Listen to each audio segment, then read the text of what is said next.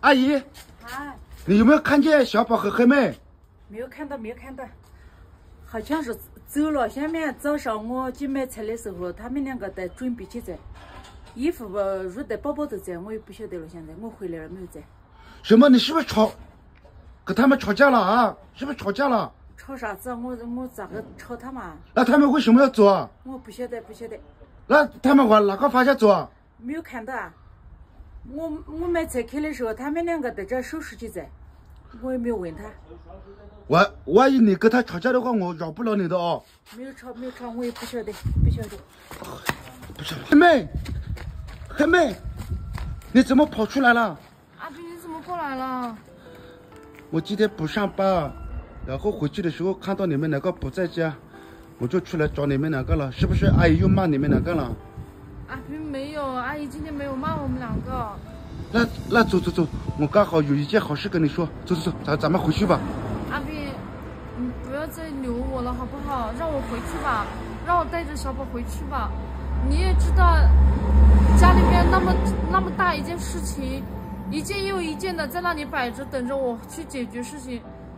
你说叫我不要回去，我听你的，我们两个在这里想办法解决。但是目前为止，我们一件事情都没有解决好。阿斌，我真的我心我心情真的要爆炸了，你就让我回去吧。回去的话，一切都好了，不用解决了，好不好，阿斌？不是今天刚刚有一个老板跟我说，他说他要帮助我们两个，咱们先不要回去，咱们说咱们先不要回去嘛，好不好？咱们就看他今晚这个老板怎么帮助咱们两个，行不行？阿斌，你不要老是相信这种，好不好？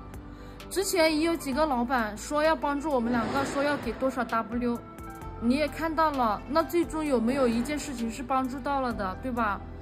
我们也还不了人家恩情，人家也不可能白白给我们那么多米，对不对啊？所以你不要相信这些了，好不好？